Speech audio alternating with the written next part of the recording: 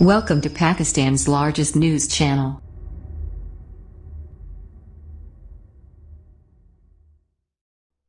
یہ تو نظر آیا ہمیں، کیونکہ پیمرا بھی ایک ادارہ ہے۔ اس کے حوالے سے بھی آپ جانتے ہیں کتنے اتنے میرے خیال میں ہم کبھی طے نہیں کر سکیں گے۔ جو بار بار ہم بات کر رہے ہیں کہ صافی میں نہیں سمجھتا ڈاکٹر شہر مسعود صاحب کچھ صافی ہیں، آپ انہیں مداری کہہ لیں۔ آپ انہیں ایک نوسر باز کہہ لیں آپ اسے دیکھیں ایک شخص ٹی پہ بیٹھ کے ہر روز۔ ایک چینل پہ وہ پرائم ٹائم شو کرے۔ میری گزارش سنیں۔ میری گزارش سنیں۔ ہم آج ایک خبر کو ڈسکس کر رہے ہیں۔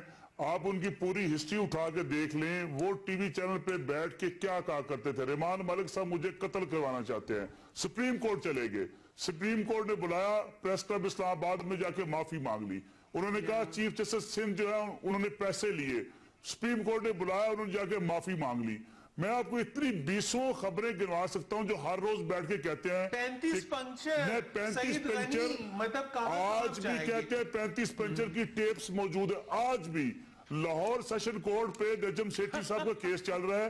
کورٹ ان کو بلاتی ہے، کورٹ میں پیش نہیں ہوتے اور لوگوں کو کہتے ہیں کہ نجم سیٹھی صاحب نہیں آتے۔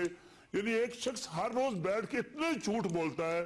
وہ کہتا ہے کہ میں زلزلے میں تھا، میں سرجن تھا، میں نے بغیر آپریشن تھیٹر کے پینتیس آپریشن کیے، میں نے سرجری کر دی۔ وہ کہتا ہے سی اے کا ڈریکٹر میں چینج کرواتا ہوں۔ وہ کہتا ہے میڈل ایسٹ کی پالیسی میں بنواتا ہوں۔ وہ کہتا ہے پاکستان کا پہلا ڈریکٹر نیوز میں ہوں۔ اور یا خدا کے لیے ایک شخص جو رات سونے سے پہلے دس سے بارہ نیند آور گولیاں کھاتا اس کے بعد سوتا ہو ہم نے ٹی وی اس کے حوالے کیا ہوا ہے۔ کوئی اس ملک کے اندر پوچھنے والا ہے؟